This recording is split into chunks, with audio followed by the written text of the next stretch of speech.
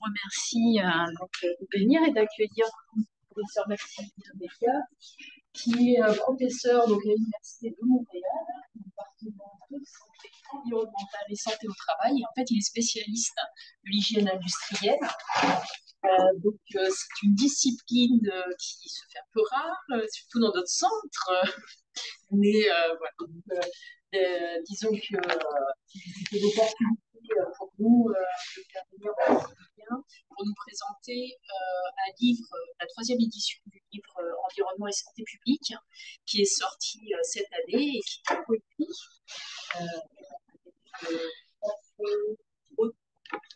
Co-dirigé, mais il y en a 174. Mais il y a beaucoup de...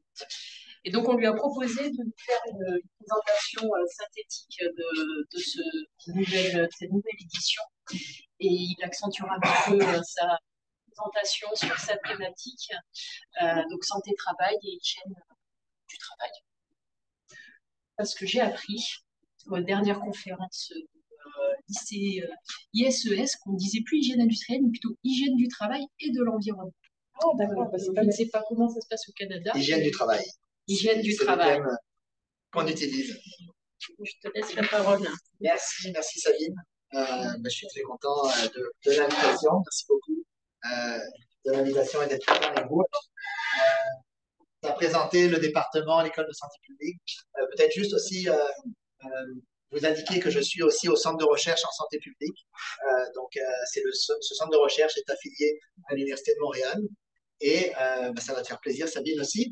on est en train de, restructurer donc, le centre. On est en train de faire les six prochaines années pour, le centre avec des thèmes. Et on a un thème de recherche, travail et santé, parmi les systèmes de recherche du centre qui, qui s'est mis en place. Donc, des choses intéressantes dans, dans, ce cadre-là. Alors, bon, euh, je suis professeur à l'Université de Montréal, alors je fais un petit, euh, une petite introduction euh, voyage, si vous me permettez. donc, évidemment, le Québec, possiblement plusieurs d'entre vous connaissent. c'est connu pour ses, ses, grands espaces, évidemment, la beauté, la beauté ici, le fleuve Saint-Laurent, l'ensemble des, des, des, lacs, des rivières. ici, on a le parc de la Jacques-Cartier, euh, donc euh, un, lieu de, de, de, randonnée, de villégiature euh, superbe avec le kayak. Montréal, donc Montréal et ses, couleurs en, en, septembre. On a des conditions particulières au Québec. L'hiver québécois, alors là, j'en parlais avant de rentrer dans la salle. Ça ressemble pas à ça en ce moment. Montréal, il faisait 12 degrés hier et il faisait euh, 0 à Bordeaux. Euh, euh, si on veut avoir du, froid, il faut venir à Bordeaux. C'est drôle à dire, euh, mais il y, a, trois semaines, c'était comme ça. À peu près, on a eu, 30 cm de neige. Euh, donc, il y a des conditions particulières en hygiène du travail. Ben, ça joue aussi à cause des conditions climatiques et de, la ventilation des, des, industries et des édifices. Alors, le Québec, c'est aussi l'industrie minière. On a des ressources, on a des, des mines euh, en opération depuis des années. Euh, et on a des nouvelles mines. Le lithium, par exemple, fait partie des, nouvelles mines qu'on ouvre, le graphite également. Donc, il y a une filière batterie qui se met en place, comme en Europe un petit peu. Euh, mais il y a une grosse filière batterie. On, a, on vient de créer le plus gros projet privé d'Ortvolt qui s'installe au Québec pour l'Amérique du Nord. Donc, ça, ça, entraîne des nouveaux, ça entraîne des nouveaux risques aussi donc, qu'on regarde en santé au travail. Donc, ça, c'est la mine de fer de Wabouche, photo prise en septembre par mon équipe de recherche. Euh, je vais vous montrer un petit peu des résultats tantôt. C'est aussi euh, le pays de l'amiante. Hein. On cette photo, elle a été prise aussi en septembre. Je l'ai prise euh, en, faisant la visite de la région de l'amiante. c'est Asbestos, qui s'appelle maintenant Val-des-Sources, hein, parce que le nom de la ville était, un petit peu problématique. Donc maintenant, ça s'appelle Val-des-Sources. C'est politique. Hein, vous êtes d'accord? Et euh, on a des sites qui sont euh, maintenant en. Euh, donc, la mine se remplit progressivement, là, en ce moment. On pense que d'ici une, dizaine d'années, le niveau de l'eau sera, sera au niveau de la surface. mais on a des projets de valorisation des résidus amiantés en ce moment. pour faire du, magnésium notamment. Et donc, il y a un observatoire, un observatoire de l'amiante qui vient d'être créé. Donc, je suis sur le, conseil scientifique aviseur pour que ça se fasse en, sans entraîner des expositions des populations et des travailleurs. C'est aussi le, pays des mines d'or. On a toute la vallée entre, entre le Val d'Or et Rouen, d'Oranda, avec des mines souterraines. Au Québec, on a la mine la plus profonde en Amérique, 3,2 km sous terre. Euh, donc, euh, le seul endroit où on va plus bas de, sous terre, c'est en Afrique du Sud. Donc, ça a des, défis énormes pour l'industrie minière euh, quand on pense aux expositions, aux particules, aux émanations de moteurs diesel et à tout ce qui est notamment poussière minérale comme la silice quartz. Donc, Pressac, également Val d'Or, c'est tous ces, travaux qu'on a fait depuis les dix dernières années. C'est aussi le, pays des alumineries. Hein. On, a, on a été Alcan, le premier producteur d'aluminium au monde, euh, et euh, ça va avec euh, son jeu d'exposition professionnelle et ses maladies professionnelles dans cette industrie. ça, c'est les nouvelles salles de cuve pré-cuites qui sont beaucoup moins exposantes là, pour les travailleurs que les anciens procédés. Mais c'est toujours actif, là, les alumineries. On, a, on est dans les premiers producteurs d'aluminium on a euh, des, choses intéressantes en santé environnementale aussi. On a des, fonderies qui sont dans, les villes. Et euh, évidemment, ben, on a des, euh, expositions diffuses la population, notamment à l'arsenic. Donc, c'est des gros dossiers avec, des, collègues des collègues de mon département qui, qui vont travailler sur ces problématiques d'exposition environnementale on dit une mine, une ville. Souvent au Québec, dans certaines régions, des villes étaient construites autour euh, des mines. C'est euh, euh, la, la fonderie qui, distribue l'eau potable à la ville. Donc, donc c'est ça. On a, on a aussi l'aéronautique, Montréal, Mirabel. Bon, Airbus a acheté Bombardier, mais on produit encore donc les, les, avions, les jets aussi à, Montréal. Donc il y a une grosse industrie de l'aviation également au, Québec.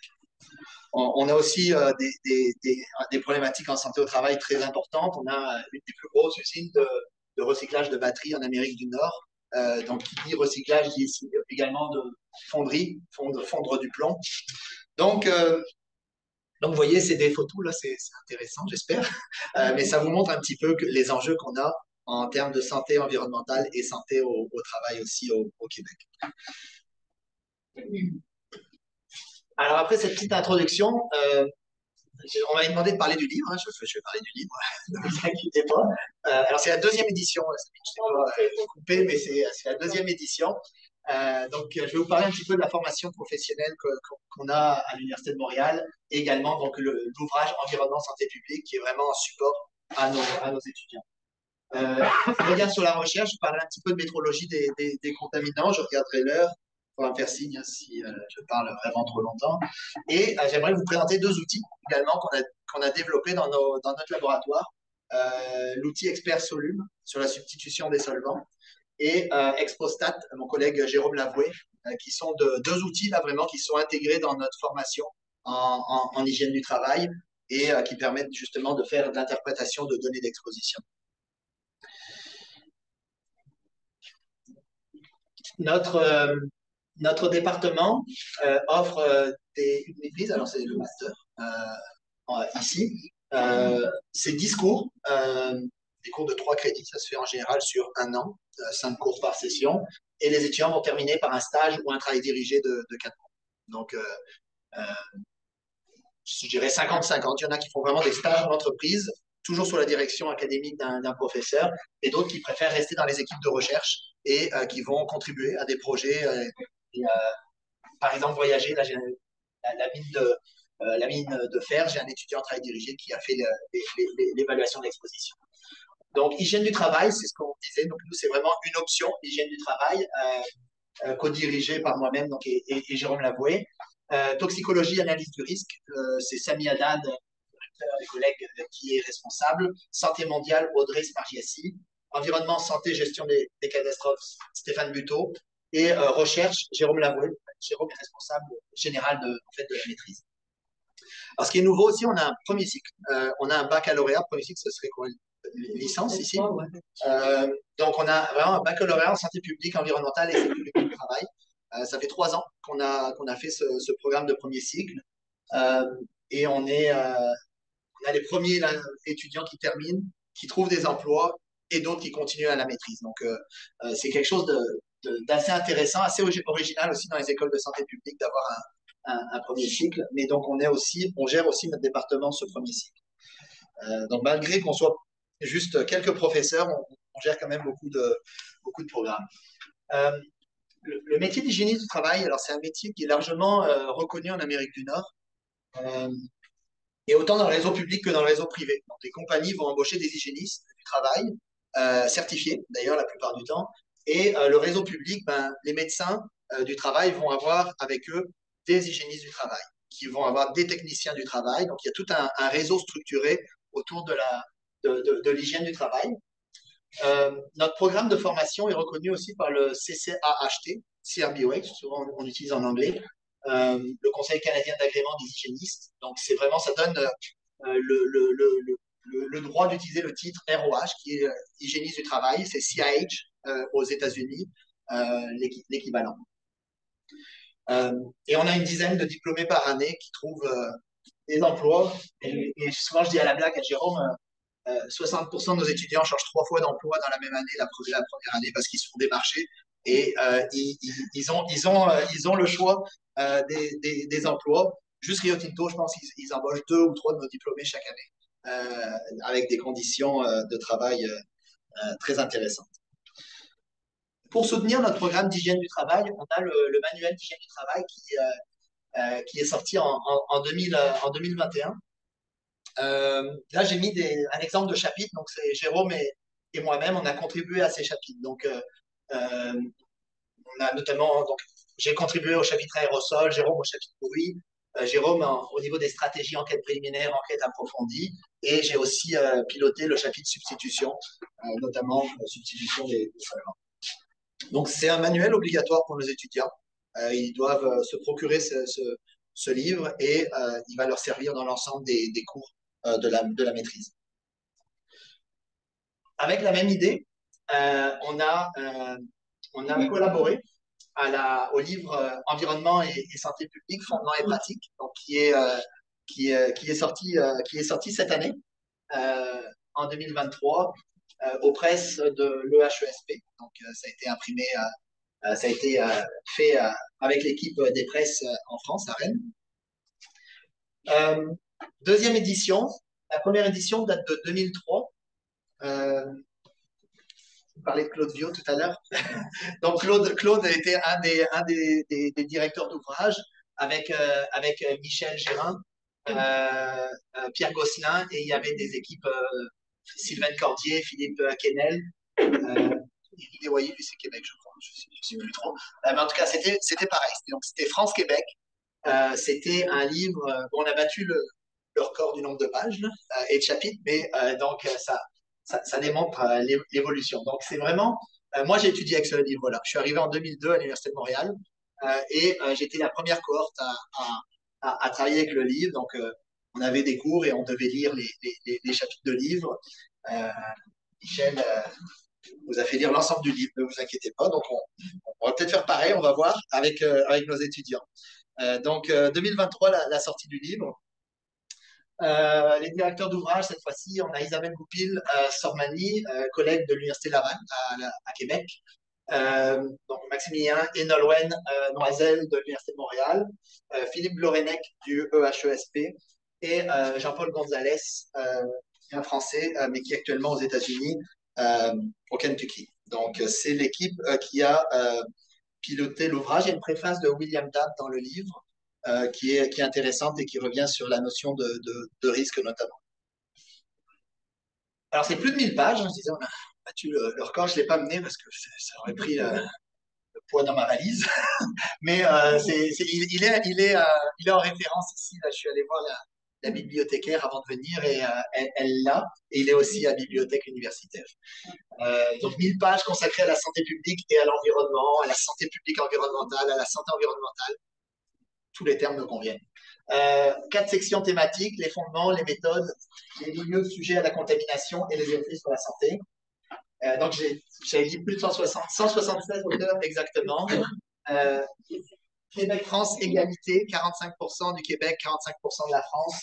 Le reste, ça vient de Français expatriés aux États-Unis, mais aussi de Belges, de Suisses, Maroc, Gabon, Burkina Faso, Bénin, je vais tous les livres, Sénégal, Togo et Côte d'Ivoire. Donc, on, on, est dans la francophonie et ce qui est peut-être euh, un élément extrêmement important pour nous. Il est accessible gratuitement en ligne, le livre. Donc, pas d'argent, on fait zéro dollar. Et si on, fait quelques, centaines de dollars, on, on va le reverser en bourse étudiante. Donc, euh, euh, ce qui est important, c'est vraiment de, on a ouvert les droits. Donc, il est, il est en ligne sur Kern. Vous pouvez quand même acheter la version papier, elle coûte 60, 60 euros, 57 exactement la FNAC. Je suis vérifié hier, il y, a, une réduction de 5% en ce moment.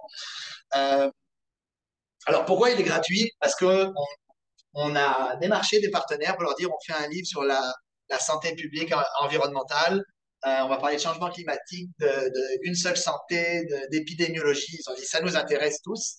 Et euh, on a vraiment eu euh, beaucoup de partenaires. Donc du côté du Québec, on a les fonds de recherche du Québec, l'Institut national de santé publique. Du côté de la France, on a Santé publique France, par exemple, qui ont vraiment appuyé l'ouvrage et appuyé la, publication, la science ouverte.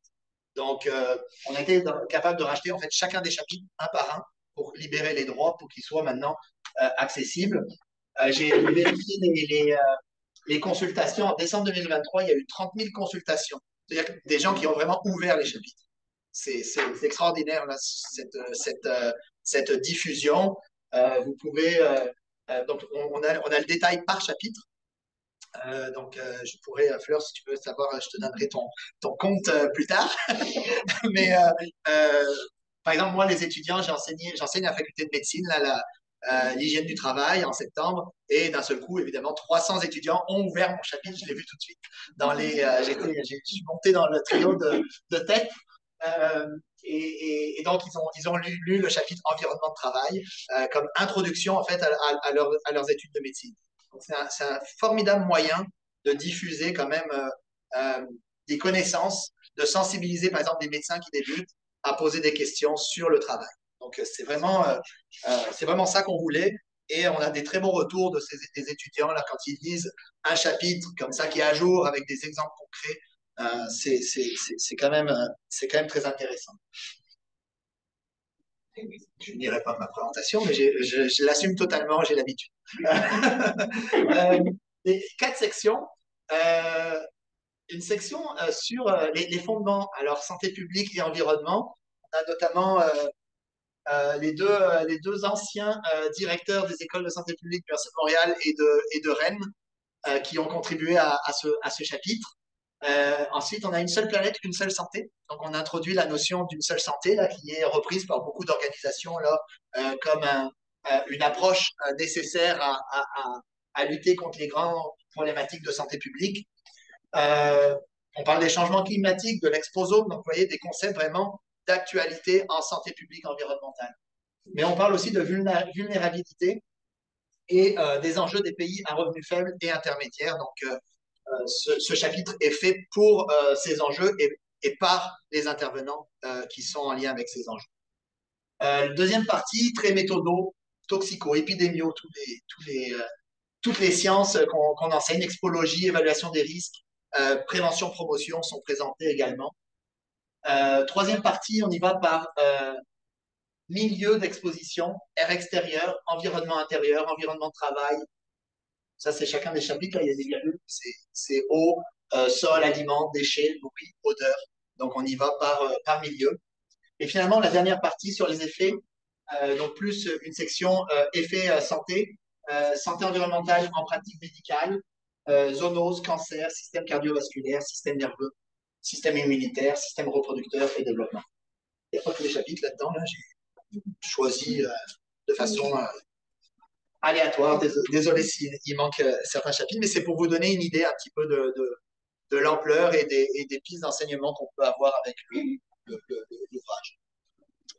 Bon, je vais passer un peu rapidement là-dessus. Là, c'était juste, j'ai pris euh, mon chapitre en exemple, mais je me suis dit, à l'ISPED, ça va vous intéresser, les environnements de travail. Euh, ce chapitre, il a été écrit avec David Vernès, que vous connaissez peut-être, qui est un collègue suisse au niveau de la formation en, santé au travail. Véronique Dobas Letourneau, qui est du EHESP, qui est une sociologue et qui a justement traité des aspects plus en, organisation du travail. Euh, et deux médecins du travail, Suzanne Stock et Alice Turcot, euh, médecins du travail à, l'Institut national de, santé publique du Québec, euh, qui ont contribué au, au, volet maladie professionnelle, surveillance également de la santé. Donc, chaque chapitre, il, est fait de la même façon. On a des objectifs pédagogiques en début de chapitre. Ensuite, on a des encadrés, donc des exemples concrets pour mettre en évidence des problématiques. Donc, nous, ici, par exemple, dans le chapitre environnement de travail, on a un encadré sur les solvants On revient sur euh, c'est quoi un solvant vert? C'est euh, parce que nous on a tout est vert en Québec. Hein. On n'a pas un produit qui n'est pas vert avec une feuille euh, sur l'étiquette. et même des fois du dichlorométhane, c'est un procédé vert. On ne sait pas pourquoi, mais ça l'est. Donc on revient sur ces notions. on a fait une monographie d'ailleurs en équipe de recherche sur les solvants verts. Euh, on revient sur le stress thermique et le réchauffement climatique. Dans tous les chapitres, c'était euh, une notion qu'on essayait de, garder euh, quand c'était possible, un lien avec les changements climatiques dans l'ensemble des, chapitres. on revient sur les fardeaux des TMS chez les femmes et les hommes pour avoir une discussion sur le genre dans, le, fardeau de ces maladies. On, revient sur le système général harmonisé d'information sur les matières dangereuses.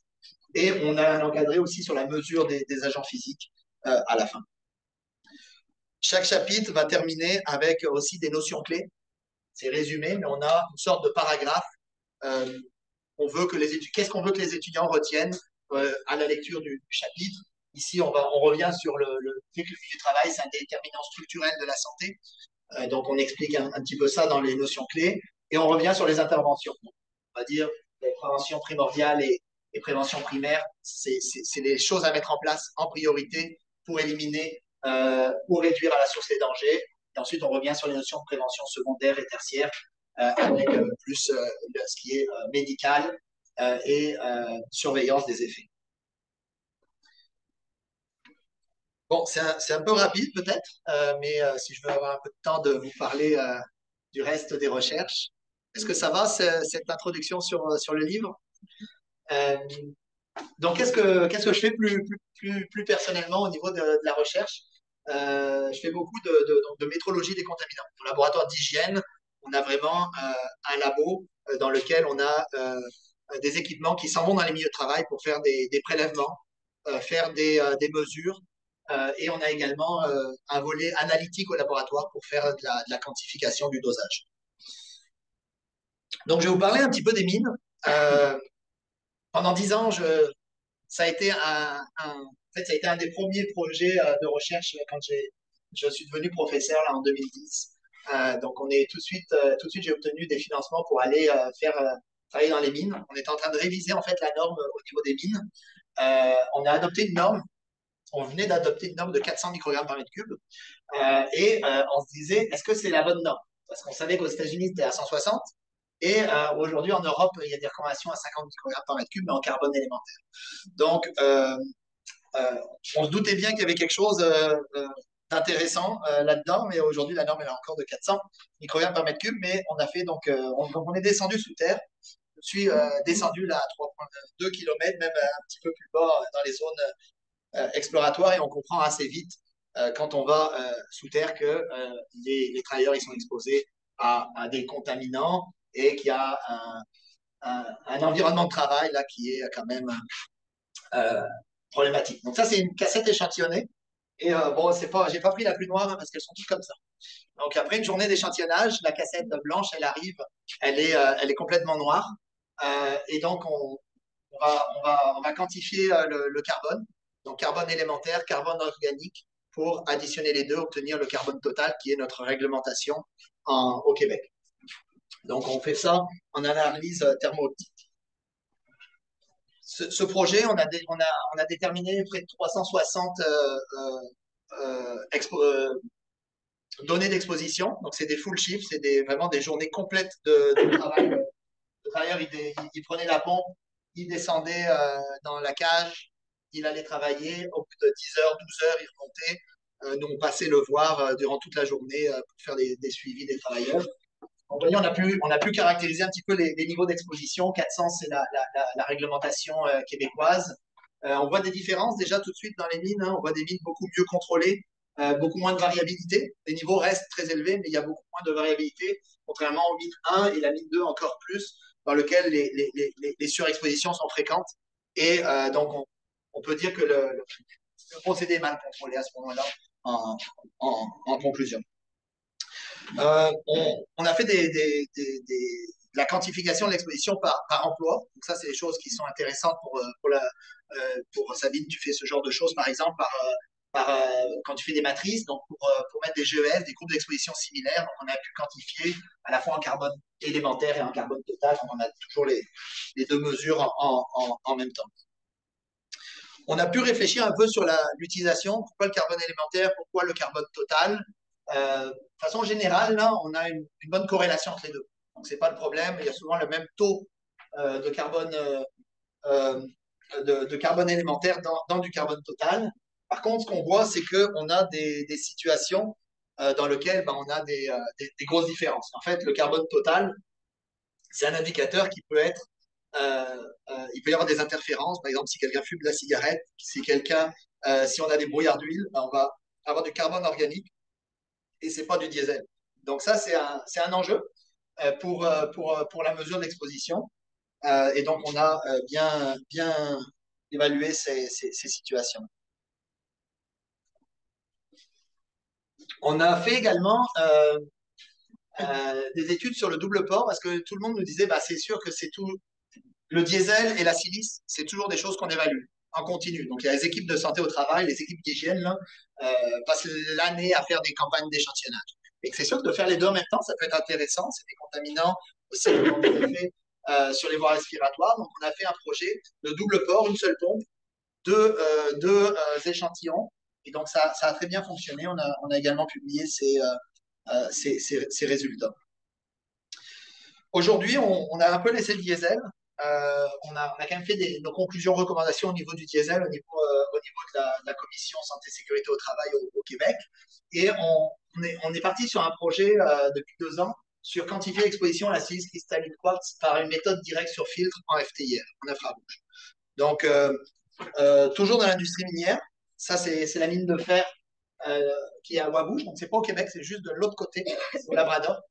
Euh, mais il y, a, une mine similaire euh, du côté québécois, une mine de fer. donc, le minerai, est traité, concassé, purifié, et ensuite on fait des pelettes d'oxyde de, de, fer. Toujours pareil, échantillonnage de la fraction. Alors, je dis respirable, c'est alvéolaire ici.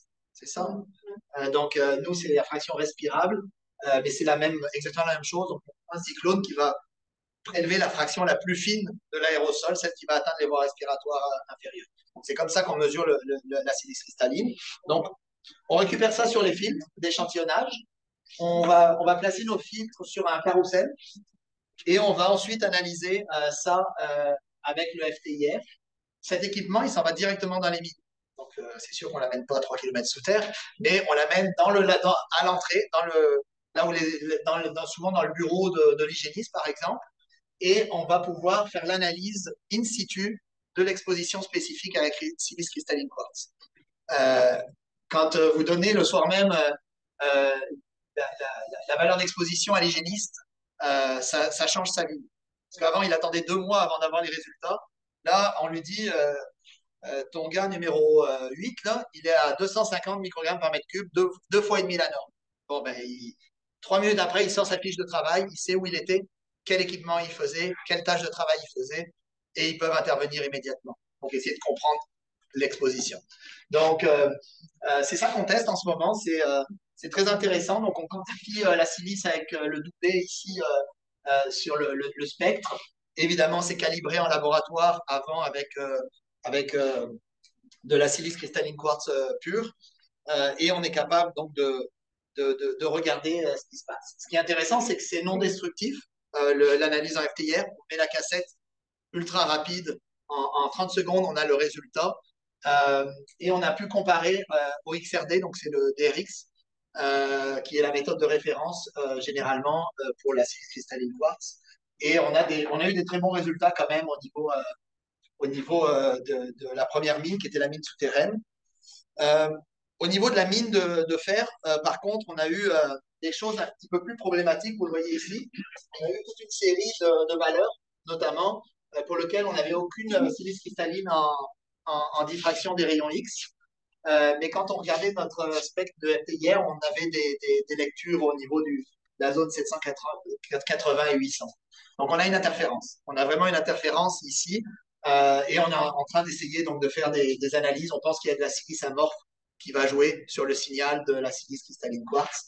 Mais dans tous les cas, euh, pour le reste, euh, et c'est, après, euh, c'est toujours dans le même secteur qu'on a cette interférence. Donc c'est ici quand on fait le ratio, vous voyez, pellet plant, c'est les trois endroits dans lesquels on fait le produit final, dans lequel on a le plus grand ratio, c'est-à-dire on a eu plus de valeur en, infrarouge qu'en, DRX. Donc on, on, on, est en train de, justement d'étudier ça. On a une discussion avec le NIOSH qui eux sont aussi très poussés dans ces, dans ces analyses euh, au niveau des, des, interférences.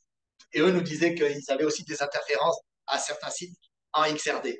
Donc euh, c'est vraiment intéressant ces discussions euh, et ça peut changer un petit peu la façon d'évaluer la, la silice cristalline quartz dans plusieurs milieux de travail. Donc on a un projet de recherche qui débute aussi en janvier avec mes collaborateurs de l'IRSST sur cette mesure de silice cristalline quartz.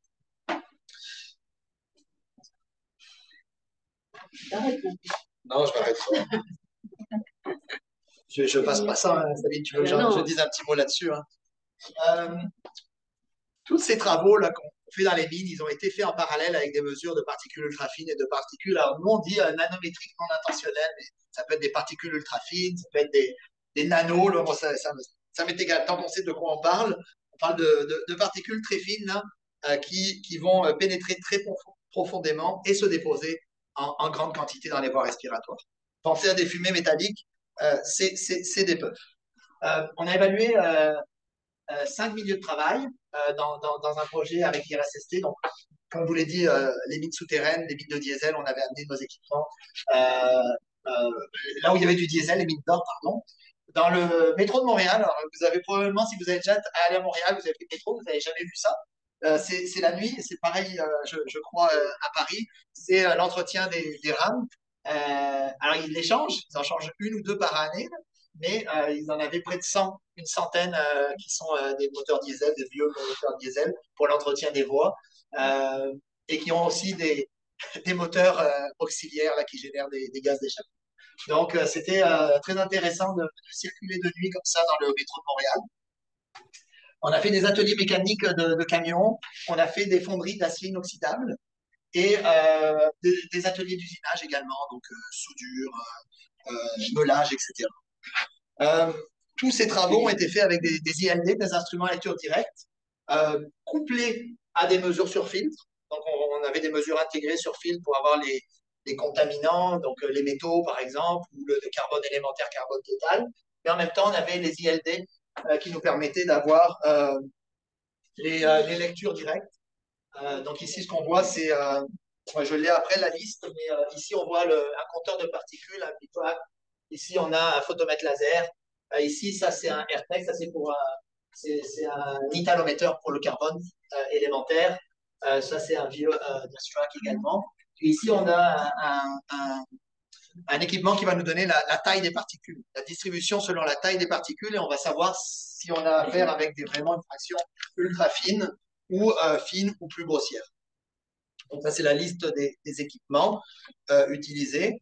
Et ben, ces travaux nous ont permis d'obtenir donc une... Euh, peut-être ce qui est intéressant, là, je, suis passé vite là-dessus, mais toujours avec l'idée d'avoir une, certaine euh, variabilité. Je sais que Sabine en avait parlé de ces éléments. La stratégie euh, euh qu'on a mis en place, on y allait 12 fois dans chacun des milieux que vous êtes présentés. 12 fois, c'est 12, euh, 12 fois, donc c'est 6 journées d'échantillonnage avec deux valises qui étaient montées à deux endroits. L'idée, c'est d'avoir la variabilité du profil d'exposition, pas d'avoir une, une, photo instantanée, mais d'avoir un, portrait général de l'exposition.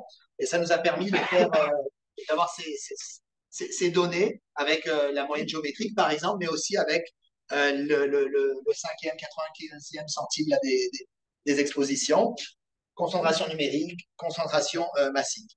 Ça nous a permis aussi d'avoir les profils en temps réel d'exposition.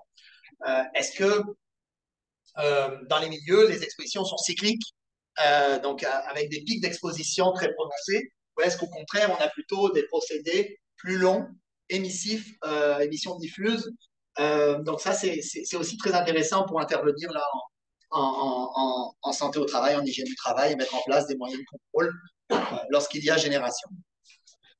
au niveau des distributions de taille, ben, c'est ça, on, est capable d'aller chercher des, particules vraiment nanométriques avec des, particules primaires, notamment fonderie, atelier de versus euh, le pic, euh, le deuxième pic, là, c'est polydispersé, mais euh, qui est un petit peu plus grossier dans les Tout ça couplé à la microscopie électronique pour pouvoir bien caractériser la morphologie des, particules. ici, c'est lequel ça? C'est soudage, parce que ça ressemble au diesel. et fonderie, meulage, page, soudage, donc c'est des choses que Sabine t'a certainement déjà vu euh, en, détail, mais donc ça ressemble à ça les fumées. Donc voyez, une fumée de fonderie, une fumée de soudage, c'est la même échelle. Euh, c'est pas du tout la même, euh, chose. La taille des particules est différente, la, chaîne de particules est aussi complètement différente. La composition, ben, ça c'est fonction évidemment de. si on a de l'acier inoxydable, ben, on va retrouver du nickel, du chrome dans la composition. Donc c'est un outil aussi intéressant, la microscopie électronique. Donc voilà, on a publié pas mal tous ces, travaux là au niveau, euh, euh, au niveau de, de, ces expositions. Euh, je, vois Alan, je suis quand même assez fier. Alan Flegg, que tu as connu, je pense, Sabine. sa thèse a obtenu le, le, prix de la meilleure thèse, toutes sciences confondues de l'Université de Montréal. Donc c'est quand même une reconnaissance assez exceptionnelle pour Alan et, tous les travaux qu'il a, a publiés au niveau des mines et, des ILD.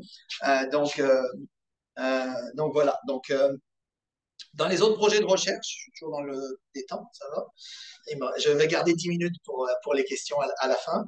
Euh, j'en parlais tantôt, on développe une méthode là pour le potentiel oxydatif. donc, mesure de la cinétique de dégradation oxydative de l'acide ascorbique. et on mesure aussi le fardeau oxydatif en tenant compte de la concentration d'exposition. Donc, en gros, on prend nos filtres avec les particules, on va extraire les particules, euh, on va les resuspendre et ensuite on va euh, les mettre en contact avec un marqueur pour voir la dégradation et c'est un marqueur de stress oxydant.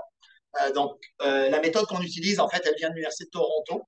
on a fait des tests, on a fait des comparaisons interlabos et maintenant on est capable de faire ces mesures. On les a fait avec les fumées de soudage, avec des fumées de rectage, avec des fumées de bois.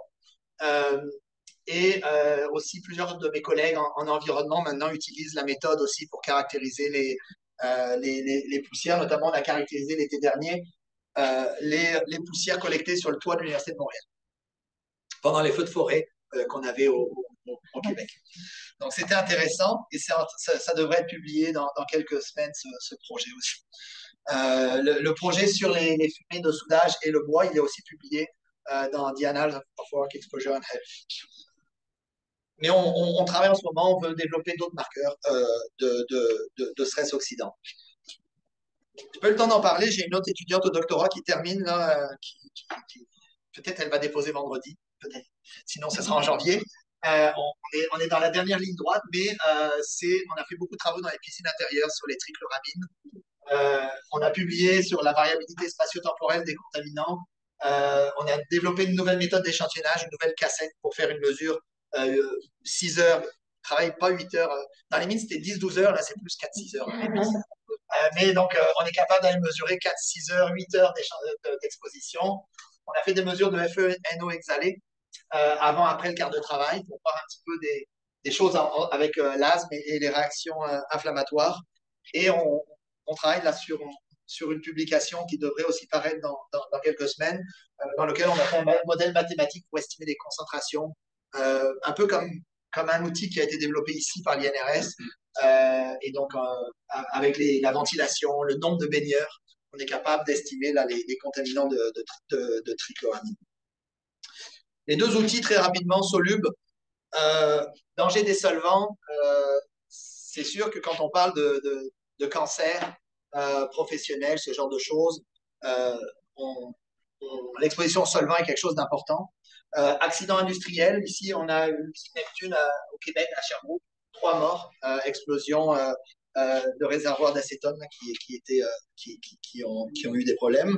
Et, euh, et, le, et, les, et les solvants dans l'environnement. Ici, nous, c'est à Shannon. aux États-Unis, il y a eu aussi d'autres contaminations. En France, je ne le sais pas, je, je, vous avoue. Mais donc, des, des solvants qui ont, qui ont contaminé l'environnement, les nappes phréatiques, et les gens ont été exposés durant des années.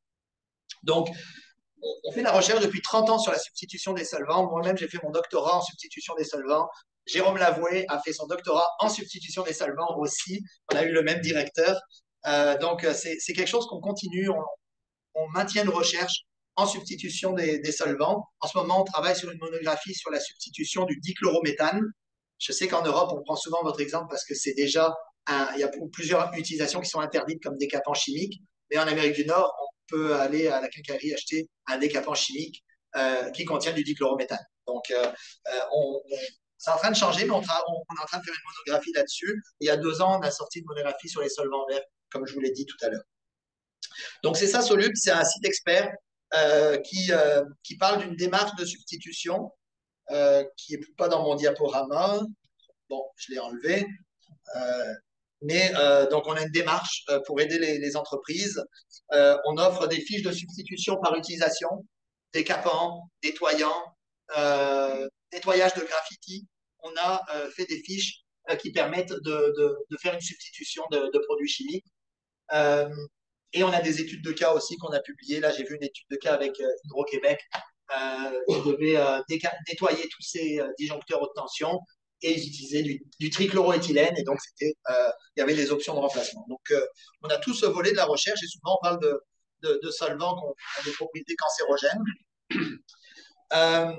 L'autre outil, euh, euh, c'est Expostat. Euh, donc ça, c'est vraiment Jérôme, Jérôme Lavoué qui a développé cet outil gratuit en ligne qui sert à interpréter les données d'exposition. Donc, nous, nos étudiants qui, font de, qui sortent des programmes en hygiène du travail, sont obligés de l'utiliser. Ils n'ont pas le choix. ils, doivent faire des exercices là-dessus. Alors, bon, Jérôme est, devenu un, voyageur, un scientifique international. Il, présente l'outil dans, il, invité, il est invité en, il est encore en Australie en ce moment. Il est invité euh, en Australie à présenter euh, l'outil au Congrès euh, australien des hygiénistes du travail. Donc, c'est un outil gratuit qui, qui, qui, est, qui, est, très performant et qui permet vraiment donc, de faire l'interprétation des données d'exposition. les statistiques de son outil, c'est ça, il a entre 5 et 10 000 sessions qui sont ouvertes chaque année au niveau de l'outil. Alors, comment il marche? Euh, j'en sais rien, euh, mm-hmm. mais euh, qui marche en code R et en statistique bayésienne. Jérôme, évidemment, le, spécialiste de, tout ce codage. par contre, ce que je peux vous dire, c'est qu'il y a trois outils et nos étudiants, en effet, donc, vont les utiliser. Donc, on va avoir des, mises en situation ou des exercices, comment on se conforme à une valeur limite d'exposition lorsqu'on a des données d'exposition. Euh, comment on détermine la variabilité dans, des groupes de travailleurs, inter, inter, intra-travailleurs Est-ce qu'on fait des bons classements de travailleurs, par exemple? Et quels sont les déterminants d'exposition Donc, euh, tu fais des, des, matrices, par exemple, et tu pourrais voir des tâches de travail, tu pourrais voir des emplois. Euh, comment ces emplois diffèrent au niveau des paramètres de l'exposition Donc, c'est un, outil assez, convivial dans lequel tu rentres tes données, tu rentres tes valeurs limites d'exposition, et euh, tu as l'information, évidemment, sur, les moyennes euh, arithmétiques, géométriques, les médianes, etc. Et ça va te, te calculer tes fractions de dépassement, euh, qui sont l'indicateur utilisé, recommandé en santé au travail, pour qu'il n'y ait pas de dépassement des, des, au niveau des expositions durant l'année. Donc, ça, c'est pas des points échantillonnés, mais c'est des points simulés en lien avec les données d'exposition qu'on voit ici. Euh, et ça nous donne une probabilité un petit peu de, justesse de, l'estimer. Euh, ici, euh, euh, l'estimer le, plus probable et que ce soit correct, la situation inférieure à 5% euh, au niveau de, ce jeu de données. Et euh, le, dernier élément, bah, c'est un petit peu au niveau des, groupes d'exposition. L'outil 3, bah, c'est sûr que si vous avez des quatre types d'emplois avec des, données d'exposition, vous allez avoir une statistique pour chacun des groupes, mais vous allez avoir également une, belle comparaison visuelle euh, des, euh, des, données d'exposition. Et en effet, ça peut vous, euh, vous signaler pour quel groupe d'emploi l'exposition est problématique et à l'inverse, identifier les, les groupes d'emploi pour lesquels ils sont probablement peu exposés en lien avec, avec la norme. donc ça aussi, c'est un outil intéressant. je l'ai fait en groupe d'exposition, on peut le faire en, en, année, on peut faire aussi un profil par année euh, par mois, si vous voulez, et voir un petit peu les, variations dans, dans, le temps. Donc, euh, je vous remercie. Euh, partez de Noël de cette année. Euh, je l'ai fait avant de partir. mais donc, le laboratoire d'hygiène, donc c'est une partie des, des, membres du laboratoire. Jérôme était en Australie, donc il n'est pas sur la photo. Elam, l'étudiante qui, va déposer sa thèse, et mes deux euh, employés de la recherche, je ne sais pas c'est quoi le, titre ici, mais c'est des professionnels de recherche, euh, donc qui font, euh, qui font, qui réalisent des projets de recherche, Isabelle et, Caroline. je remercie les recherches au niveau de l'IRSST, l'Institut de recherche Robert Sauvé en, santé et sécurité au travail. C'est le partenaire de, de, la santé au travail au Québec. Euh, j'ai été boursier de l'IRSST quand j'étais durant mes études doctorales et euh, j'ai beaucoup de projets de recherche avec, avec l'Institut. Euh, des, jeunes chercheurs, euh, Loïc, Joanny, Simon, Philippe, tous des jeunes chercheurs de l'IRSST avec qui on, collabore de façon étroite dans, nos, dans nos projets de, recherche. Et également les fonds de recherche du Québec qui subventionnent le, laboratoire. Donc ce sprint vient de terminer maintenant. donc l'Université de Montréal, sur, la, sur la montagne. Euh, pour finir avec euh, une photo comme on a commencé. Merci.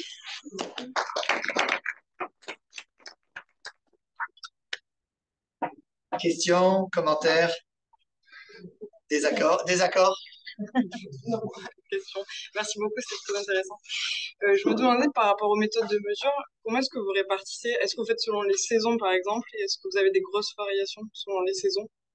Oui, alors évidemment, avec le Québec, ça que je disais un petit peu en, introduction, euh, il y a des milieux de travail dans lesquels la, différence est, énorme.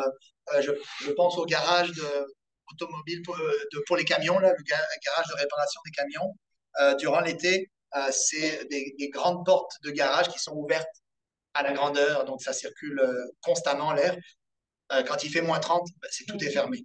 Donc c'est uniquement la, la, ventilation plus ou moins recirculé euh, qui, qui, va jouer. Donc, dans ces milieux-là, on a des énormes variations. On va avoir du non détecté durant l'été et on va avoir des, euh, des consommations qui peuvent être très importantes. Sans hygiène du travail, quand on se présente dans un milieu, ça doit être pareil ici. Euh, souvent, on mesure, on met une pompe sur le travailleur, il va nous dire Ouais, c'est facile de mesurer maintenant. C'est le vendredi qu'on est exposé, ou c'est le lundi, ou c'est au mois de mars. Donc, ce qu'on fait toujours et ce qu'on enseigne à l'Université de Montréal, c'est toujours d'être représentatif. Donc, ta stratégie que tu mets en place pour évaluer l'exposition, elle, est importante. Donc, elle doit être issue d'une évaluation primaire, euh, préliminaire, je ne sais pas comment vous appelez ça ici, dans lequel bah, tu, tu, tu, vas discuter avec les gens, tu essayes de comprendre euh, l'exposition bien avant de mettre tes pompes d'avoir déjà un portrait. Et ensuite, tes chiffres, ils viennent appuyer un petit peu ta, connaissance du milieu, ton évaluation. Donc, en effet, il faut, euh, et à l'inverse, dans les mines d'or, c'est toujours pareil. 3 km sous terre, les, les, expositions sont constantes en, en, janvier et en, ça suit plutôt peut-être le, rythme de, de, travail. Durant la chasse, il y a moins de monde. Là, il y a moins d'expositions, certainement. Euh, mais donc, euh, j'espère que ça répond à, vos questions. Question euh, vous avez des, développements sur la multi-exposition? Parce que là, tu étais très mono-nuisance, mais est-ce que euh, vous avez de la recherche euh, Oui, oui bah, dessus euh, Comment gérer un milieu de travail Parce que grosse problématique quand même. Personne ne respire une seule, une seule particule, tu as tout à fait raison, Sabine. Écoute, les, les multi-expositions, oui, ça a toujours existé dans le département.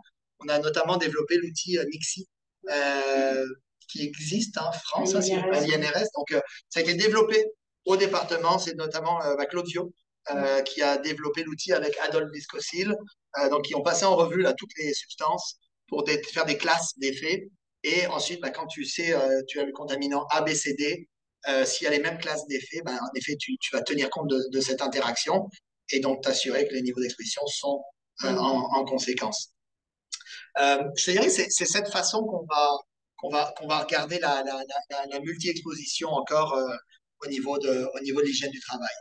Dans le cas du double port, ça c'est intéressant, ça faisait partie des informations. On, voulait savoir exactement en même temps, est-ce qu'il y, a un profil similaire, par exemple, au niveau, euh, quand il y a du diesel, il y a plus de silice également. Donc, c'est des choses qu'on a essayé de, documenter avec ce, double port et cette mesure des, des deux principaux contaminants euh, qui, étaient suivis dans les mines.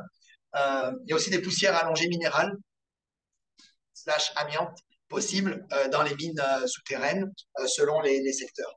Donc, c'est les trois contaminants vraiment chimiques qui vont, surveiller au niveau des, poumons. Donc, c'est pas mal comme ça qu'on qu va, regarder. Après, on, réfléchit avec le potentiel oxydant, par exemple, à l'intégration d'une mesure qui prendrait en compte des effets de stress oxydant, mais que ce soit du fer, euh, que ce soit du, manganèse ou du nickel, ben on, va, combiner tous ces métaux, notamment dans les fumées de soudage, pour donner un chiffre de stress oxydant.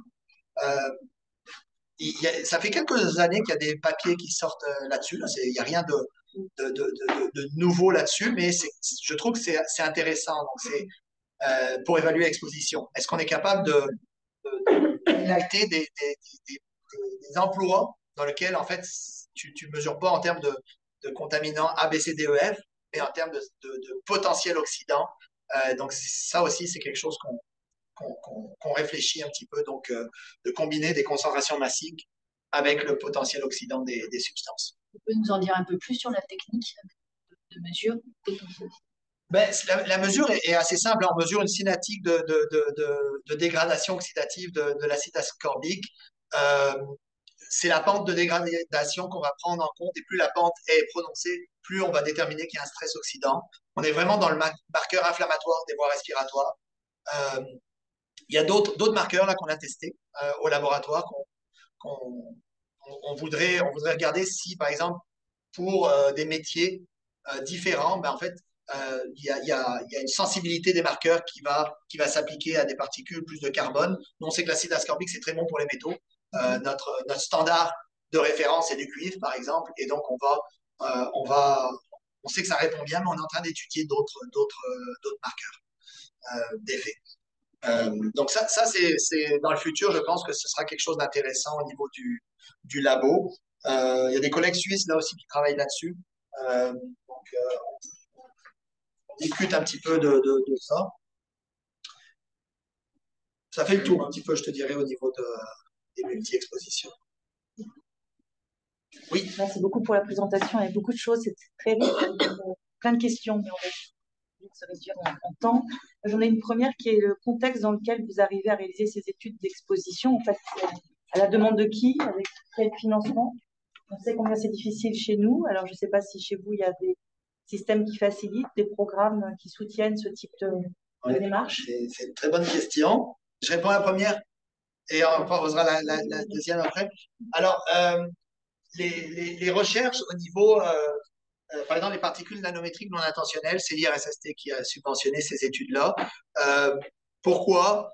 Méthode innovante, recherche au niveau des expositions, des données qui étaient inexistantes il y a 10 ans là, sur les, comptes de particules.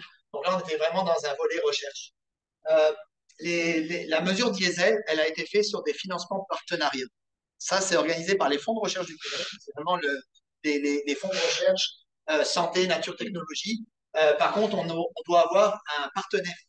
Et c'est là où ça devient intéressant, c'est que le partenaire, il peut mettre du in-kind. Euh, c'est pas, forcément qu'il met de l'argent, mais c'est que, en fait, il s'engage à la recherche. Donc, il s'engage surtout à ouvrir les mines, on se promène pas dans une mine comme euh, comme à l'ISPED. Je suis rentré, je, suis, allé devant la porte tout seul. Dans une mine, on s'appuie pas seul. On est toujours accompagné. Euh, on est dans des véhicules, on doit avoir des conducteurs, on doit avoir des formations en santé sécurité au travail. Donc c'est sûr que ben, euh, la première étape c'est trouver le partenaire. qui veut collaborer à une équipe de. C'est peut-être ça le plus dur, un projet de santé au travail.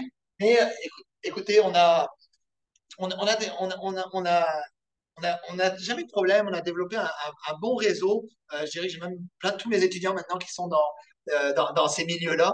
Euh, la STM, c'est un de mes étudiants euh, qui, que j'ai eu à, que j'ai que j'ai dirigé. Rio Tinto, j'ai aussi euh, plusieurs de mes étudiants qui sont là-bas. Donc ils, comprennent les enjeux de santé et qu'on n'est pas là pour on est là pour dire ben, c'est quoi les niveaux d'exposition, est-ce que les normes utilisées sont les bonnes? À dire Rio Tinto, carbone total, c'est une erreur. On aurait dû le mettre en carbone élémentaire comme comme c'était la tendance en fait. Et il n'y a pas eu il a pas eu de science en arrière de la décision. Ça a été une décision plus de avec des, des gens en, gestion qui, ont, déterminé cette valeur. Donc, elle aurait dû être plus basse et elle aurait dû être en carbone élémentaire. Euh, donc, euh, donc, ça, je dirais, c'est, une façon euh, de, financement qu'on a en ce moment. Et les, organisations euh, de financement, je ne sais pas si c'est le cas ici, mais développent énormément le partenariat. Nous, en ce moment, c'est en train d'exploser. Euh, les deux autres projets que j'ai présentés avec la mine de fer, c'est un programme partenariat également. Euh, dans lequel la mine, en fait, euh, euh, s'engage à nous ouvrir les portes pour faire nos, mesures d'exposition. ça, ça nous permet de faire de la faisabilité de la méthode. Et là, on est revenu à l'IRSST pour dire, ben, on est capable de faire cette méthode, on l'a démontré dans deux mines. Alors, on a de l'interférence, on a des ajustements à faire. Et donc là, on vient de déposer un projet à l'IRSST de nouveau pour trois ans, qui débute en janvier 2024, dans lequel, ben là, on va on veut valider la méthode et la mettre en application au Québec. Donc, euh, la méthode de silice cristalline. Donc, on jongle avec ces, ce genre de financement, le Québec, euh, les partenariats, et, et on a l'IRSST, on a un partenaire de, de financement. Mais euh, l'IRSST ouvre des appels à projets Oui. Chaque année, il y a un appel à projet qui, est, qui est ouvert. C'est, par exemple, le, la silice, on a été un des huit projets subventionnés sur, euh, écoute, une soixantaine reçues, une euh, trentaine autorisées à déposer, euh, l'aide d'intention autorisée à déposer, et seulement moins de 10 quand même sont retenus. donc nous, on a eu la chance d'avoir le, projet, et c'est sûr que c'est toujours sur concours. moi, tout ce qui concerne la substitution des solvants, même, même Soluble, vous l'avez peut-être vu, mais c'est l'IRSST et l'Université de Montréal. C'est un partenariat. Donc, Soluble, c'est mon équipe de recherche en arrière de Soluble tout ce qui est écrit, c'est nous qui l'avons écrit, mais on est sur le site de l'IRSST et l'IRSST aussi nous donne un montant d'entretien de, du site, d'actualité. On fait des actualités chaque, chaque mois. On a la chance d'avoir l'IRSST au Québec. C'est certain que ça, a toujours dynamisé la recherche en santé au travail et toutes les équipes que vous connaissez, Jack Simeski, euh, euh, tous ces gens-là ont eu euh, des étudiants qui ont eu des bourses de l'IRSST pour faire de la recherche. Jérôme Lavoué a eu une bourse de l'IRSST. J'ai eu une bourse de l'IRSST quand on a fait nos, nos recherches euh, euh doctorales. Euh, et même mes collègues en santé environnementale, là, ils appliquent à l'IRSST. Ils trouvent toujours un, une, une, une, voie de, où on s'associe. C'est intéressant. Toi, Audrey Smargiassi, ma collègue, qui est vraiment en, en, en, en santé environnementale, en, en, épidémio, ben, en fait, on, on, collabore sur le projet du FENO et, et des, des, paramètres euh, respiratoire chez les travailleurs.